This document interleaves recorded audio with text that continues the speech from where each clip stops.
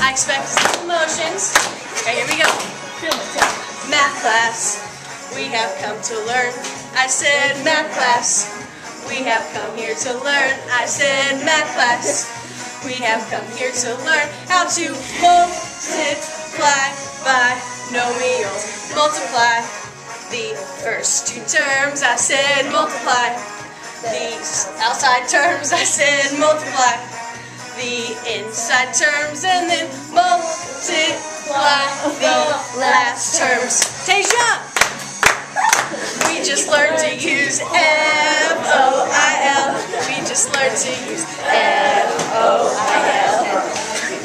We smaller terms, then you add or subtract, and your binomial simplified. Here we go.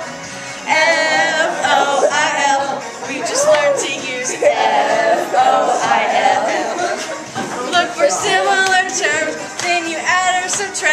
Your binomial simplified.